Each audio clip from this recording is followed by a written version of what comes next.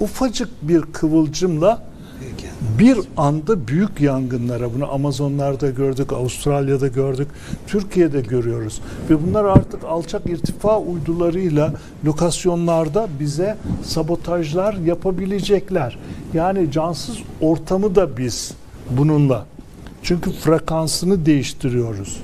Ee, Canlı bitkileri üzerinde de biz ciddi anlamda tahribatta yol açabiliyoruz. Hayvanlar üzerinde de aynı e, caydırıcı baskı. Hatta bunlarla hayvanları caydırmak ses dalgalarını değiştirerek bile isterseniz e, kuş sürülerini ya da çekirgeleri yönlendirebilirsiniz ya da yüksek frekanslarla bunları patır patır Çin'deki kalp durdurabiliriz efendim. Ben size yani Biraz çok önce hocam çok önemli bir şey söyledi. Bulutları taşıyabiliriz, kıtlık yapabiliriz. Hocam durduğunuz yerde Yani- mesela size sinyal göndererek sizin de affedersiniz deşarj olmanızı bile sağlayabiliyoruz. her şey Bak yapılıp bir insanı deşarj yapabiliyorsun. Adam başka şeyler de yaptırabiliyorsun.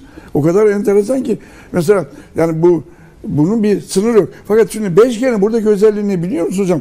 2, 3, 4G'den farklı olarak bir platform oluyor. Bütün objektleri bağlıyor. Bakın şimdi birazdan gönder göstereceksin orada. ITU dedikleri şey var. Internet of Things. Bütün dünyadaki cihazlara bağlı. Sizin evinizde mesela ölçerler var. Bu ölçerler kabloyla yapılsa size hiç nesneler zarar yok. arası, Ama iletişim. kablosuz yapıldığı için o devamlı olarak sinyal yayıyor ve sizin üzerinize geliyor. Siz hani evdeki oturanların hiç haberi yok ama sinyale maruz kalıyor. Hocam biraz önce ben buraya başka bir televizyondan geldim. Karşıdaki arkadaşın laptopu var. Cep telefonu yanında. e, gelen mesajlara bakıyor. Benim cep telefonum var. e, bilgisayarım açık.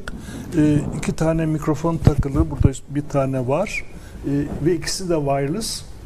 Şimdi tek tek cihazların üzerindeki pres- şeye e, baktığınızda bu insan sağlığı insanın tolere edebileceği oranlarda bir radyasyon salgılıyor. Ama bakın iki tane bende virus var. iki tane onda var. Dört. İkimizde birer cep telefonu cihazlar- var. Cep telefonu var. Altı. İki tane bilgisayar var. Sekiz.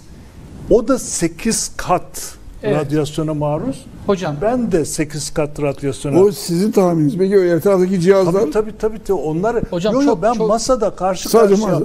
oturduğum benim üzerime takılı şundan iki taneydi. sevgili izleyiciler e, burada bir Wi-Fi sistemini görüyoruz.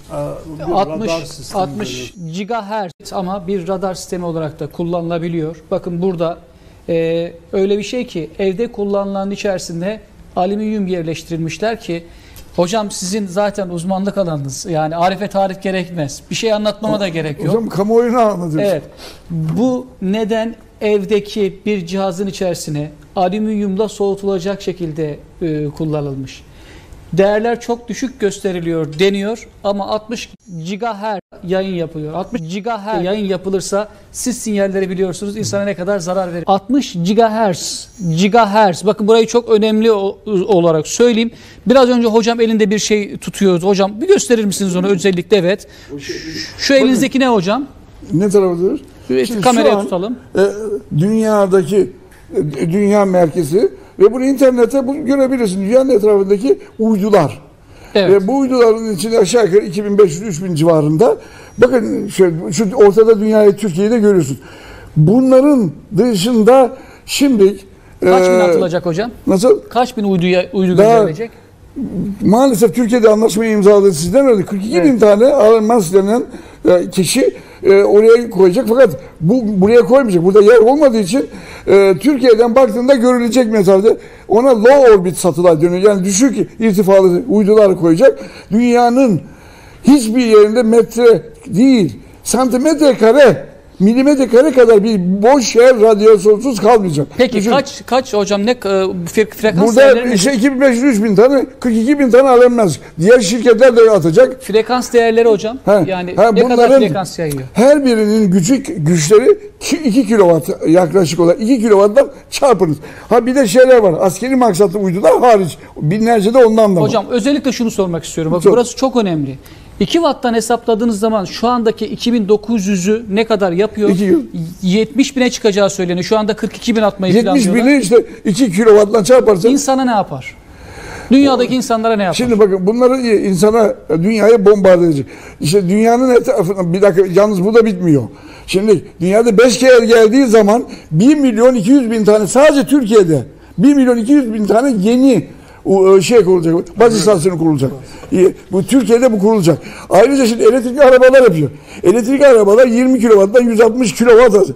E, Türkiye gibi yerde kaza yapmayan arabanın olmadığı yer, bir kazada arabanın içindeki adam otomatikman pişmiş olacak. Mikrodalga fırında olacaksın. Araba kaza yaptığı zaman ne oluyor? E, tabii koruma mekanizması zarar görüyor. İçerideki insanlar ölüyor. Mikrodalga yani içerideki elektrik gücünden de pişecekler. Dünya büyük bir radyasyon e, bombardıman altında olacak. Bu doğal dengeyi bozuyor. Bir kere yukarıda, e, e, yukarıda yapay bulutlar oluşacak.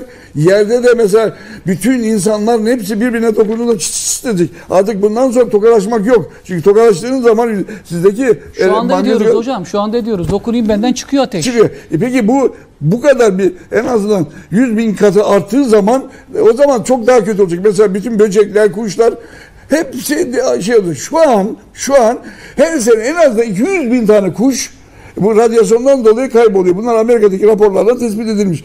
Bitkilerdeki bazı yangınların da ana kaynağı ve onların e, e, üremesini etkileyen şey elektromanyetik radyasyon. Bunların hepsini topladığın zaman dünyanın içinde radyasyon içinde boğulacağız. Bunları çevreci arkadaşlar hiçbir şey dememelerine ben çok şaşırıyorum.